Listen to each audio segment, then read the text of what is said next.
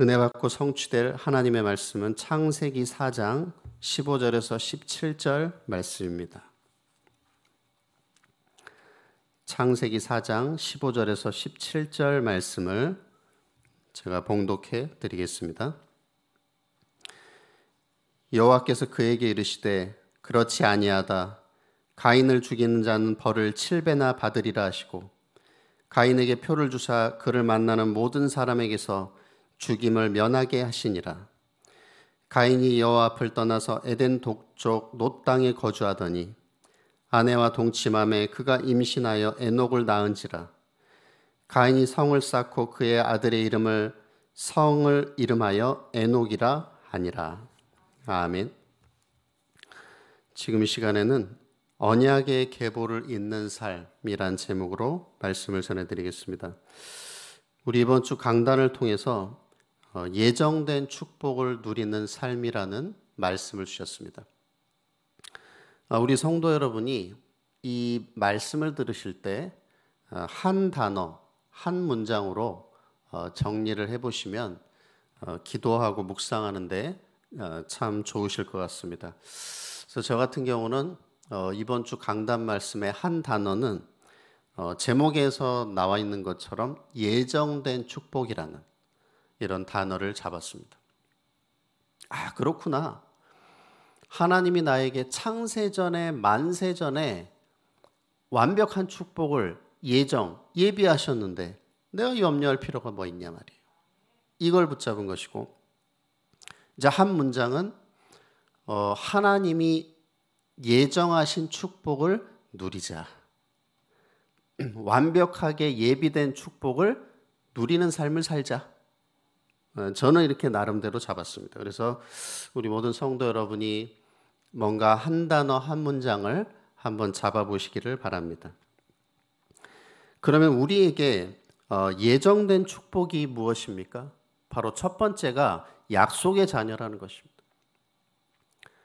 바로 에베소서 말씀해 주신 것처럼 하나님이 우리를 창세전에 택하셨다고 그랬는데 택했다는 것이 뭐죠? 끄집어냈다라는 음, 뜻이라고 하셨죠. 그래서 나 같은 죄인을 우리와 같은 죄인을 이 열두 가지 문제 가운데서 끄집어내서 이 예수 그리스도의 십자가의 속량과 또 부활을 통해서 영원한 하나님의 자녀로 삼아 주셨구나. 예, 여기에 대한 감사와 감격을 늘 누리시기 바랍니다. 그런데 어, 구원받은 약속의 자녀 하나님 자녀는 예정론을 들을 때 어떻습니까? 굉장히 기쁘죠. 하나님이 나를 창세 전에 택하셨구나. 근데 어, 불신자는 들을 때 어떻습니까? 기분이 나쁘죠. 왜? 나를 안 택했다는 거니까 것이니까 기분이 나쁘다는 것이죠. 우리 예원의 모든 성도 여러분들은 어, 예정론을 들을 때 다 기쁘실 줄 믿습니다. 그리고 또 하나님이 예정하신 축복이 무엇입니까? 바로 우리를 남은 자로 부르셨다는 것이죠. 남은 자 의식을 가지라는 건데 남은 자가 두 가지 의미를 갖고 있다고 했는데 하나는 바로 하나님의 자녀라는 택함 받았다는 뜻이고 또 하나는 지속적으로 쓰임 받는 바로 제자라는 의미라는 것입니다.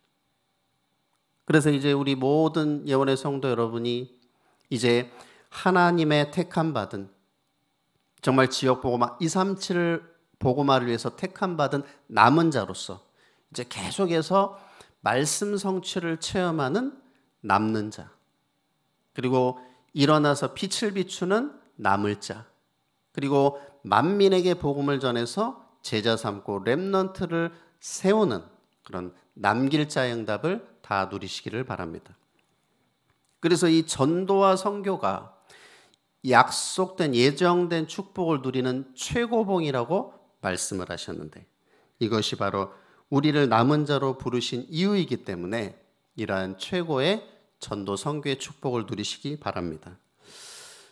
오늘 본문의 말씀은 동생 아벨을 죽인 가인이 여호와를 떠나는 장면입니다. 오늘 말씀을 통해서 하나님이 기뻐하시는 언약의 계보를 잇는 삶을 사시기를 축원합니다. 먼저 첫 번째로 오래 참으시는 하나님입니다.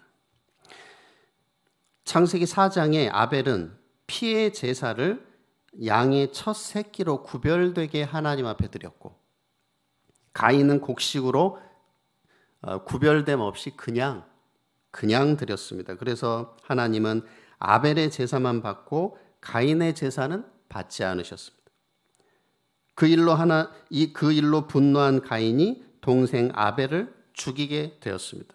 그런데 하나님은 가인을 바로 벌하시지 않으시고 가인과 대화를 하십니다. 가인에게 아벨이 어디 있느냐? 뭐 몰라서 물어보시겠습니까? 네가 무엇을 하였느냐? 다 알고 계신데 자꾸 물어보셔요. 왜? 기회를 주시는 거죠. 네가 얼마나 큰 죄를 저질렀니? 기회를 자꾸 주신단 말이에요. 그러면서 땅에서 저주를 받고 유리하는 자가 되게 하셨습니다.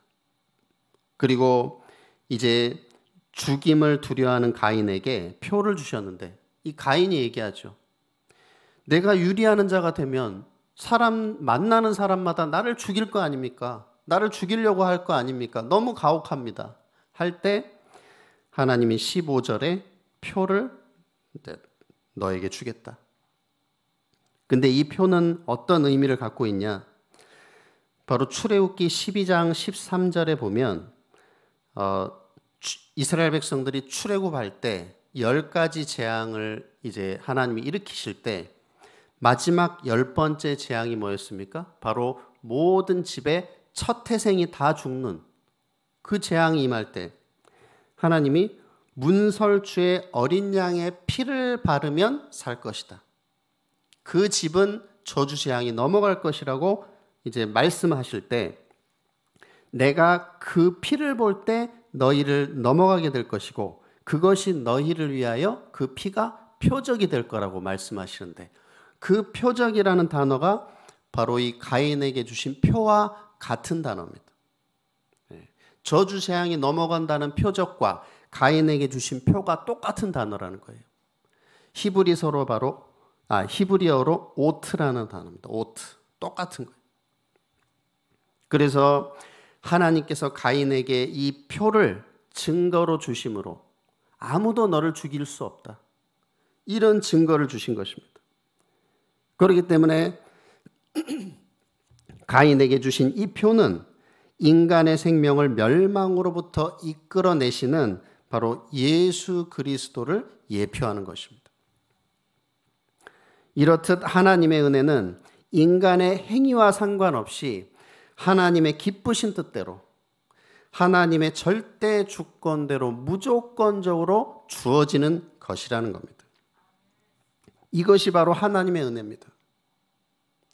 죄밖에 지은 것이 없는 완전 부패하고 아무런 소망이 없는 죄인 되었던 우리가 아무 공로 없이 행위도 없이 구원받은 것은 전적인 하나님의 은혜인 줄 믿습니다. 이제 창세전에 나를 택하시고 아무 공로 없이 값없이 구원하신 이 구원의 은혜 늘 감사하시기 바랍니다. 그래서 날마다 구원의 뿌리 내리고 복음 체질이 되어지는 최고의 축복 누리시기를 바랍니다. 어, 두 번째로 언약의 전달자입니다. 어, 본문 16절에 보면 가인은 여호와 앞을 떠나서 에덴 동쪽 노 땅에 거주했다고 말씀하고 있습니다. 그리고 여기에서 아내와 동침해서 에녹을 낳게 되고 그곳에서 성을 쌓았다고 말씀하고 있습니다. 이 성을 쌓았다는 것은 무슨 말일까요? 일단 하나님이 가인에게 성을 쌓으라는 그런 말씀은 없었습니다. 그리고 하나님은 가인에게 뭐라고 말씀하셨죠? 네가 유리하는 자가 될 것이라고 말씀하셨는데 성을 쌓았다는 것은 정착이잖아요. 그러니까 하나님 말씀을 정면으로 그 거부하는 거죠. 하나님을 정면으로 대적하는 삶을 사는 것입니다. 그리고 하나님이 분명히 아무도 너를 죽일 수 없을 것이라고 표를 딱 증거로 주셨는데 그걸 못 믿는 거예요. 그리고 자기 성을 딱 쌓고 하나님 딱 거여가면서 유리 나는 유리하기 싫어.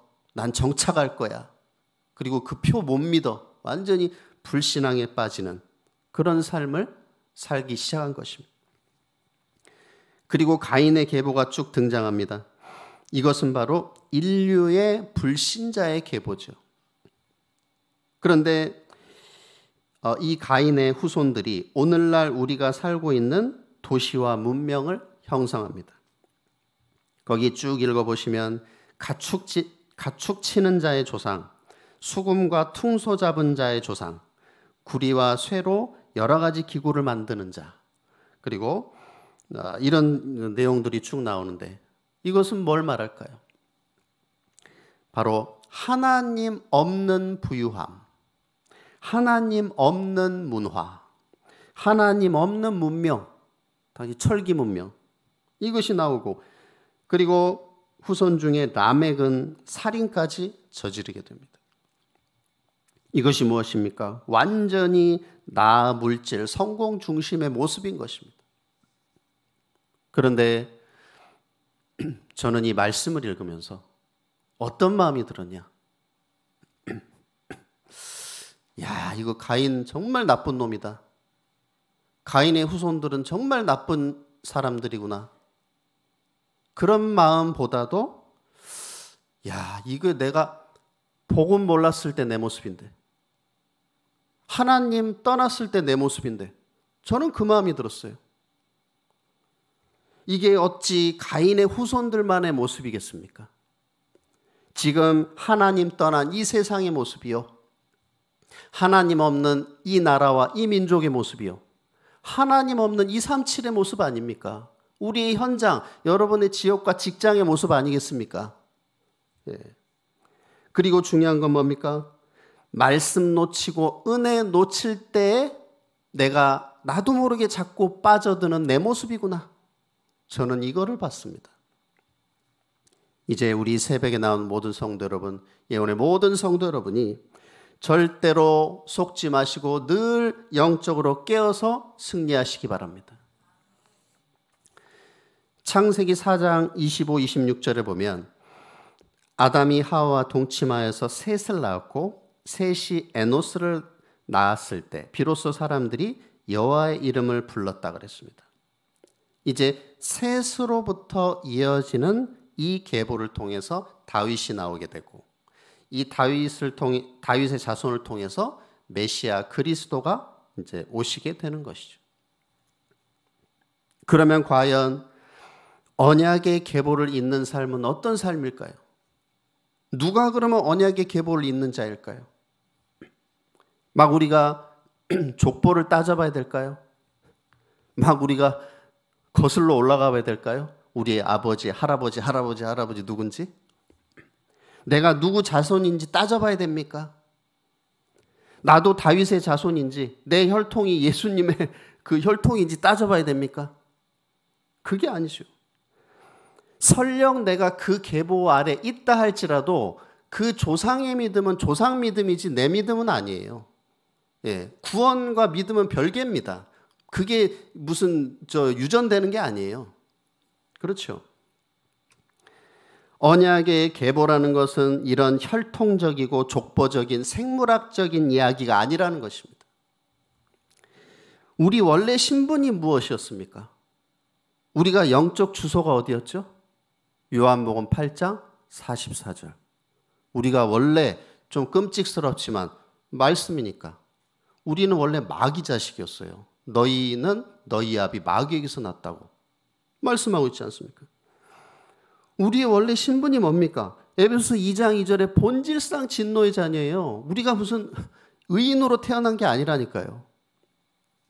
처음부터 바로 우리가 이런 하나님 떠나서 하나님 대적하면서 하나님 없는 부귀 정말 나물질 성공 중심의 삶을 살았던 이 가인의 후손과 같았던 내가 하나님을 대적하며 살았던 내가 하나님의 전적인 은혜로 이 예수 그리스도의 십자가의 대속과 부활하심으로 이 열두 가지 문제에서 완전히 영원히 해방받은 것입니다. 얼마나 감사합니까? 이러한 구원의 이 그리스도의 감사와 감격을 날마다 누리시기 바랍니다. 예. 이 얘기거든요, 이 얘기. 그래서 어, 오늘 어, 금요 기도회 때 뭐라 하죠? 우리 부활절 칸타타 많이 나오시고 이제 혼자 또 나오실 뿐만 아니라 또 어, 연약한 성도나 또 전도 대상자 가족들을 많이 데려오시기 바랍니다. 네, 이렇게 이 뮤지컬로 해주니까 얼마나 이게 와닿겠어요. 쉽게 예, 이렇게 복음이 이해되는 거죠. 감동으로.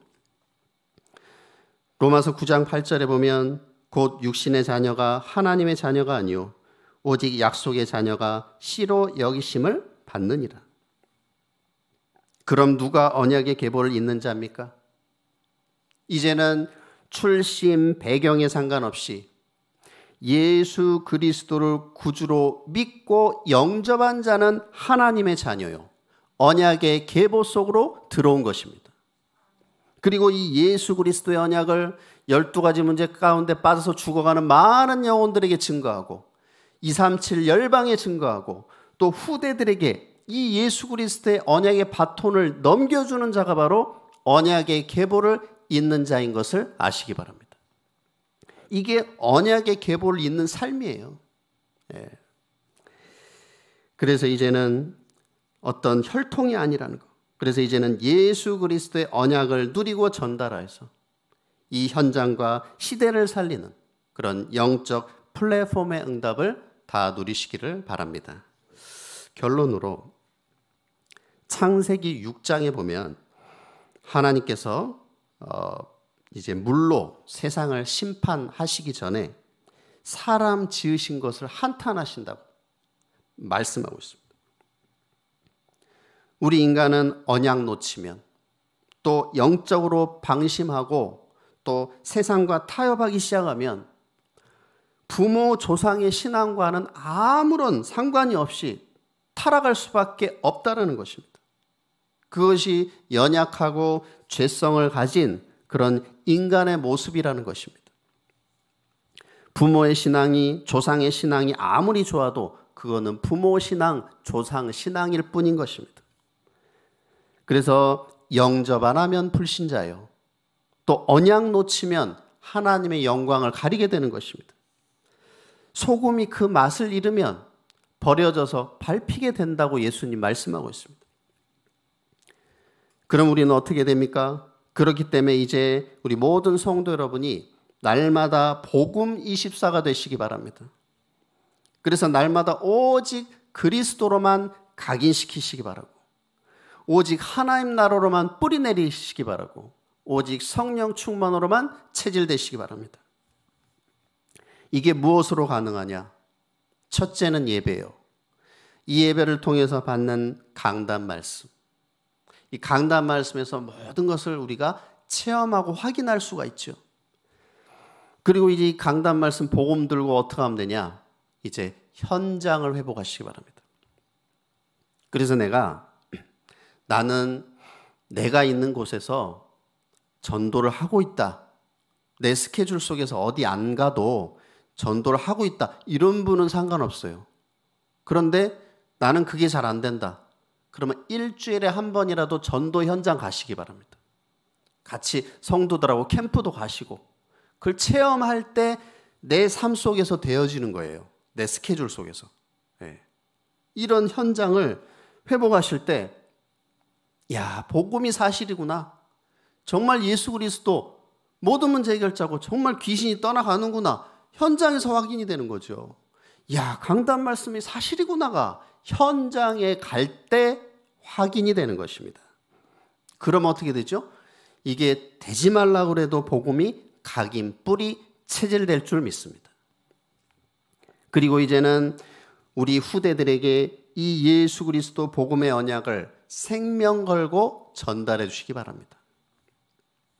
이런 언약의 바통을 전달해 줌으로써 이제 다음 세대를 살릴 제자와 렘넌트들을 세우는 언약의 전달자요 남길 자로 다 쓰임 받으시기를 예수님의 이름으로 축복합니다.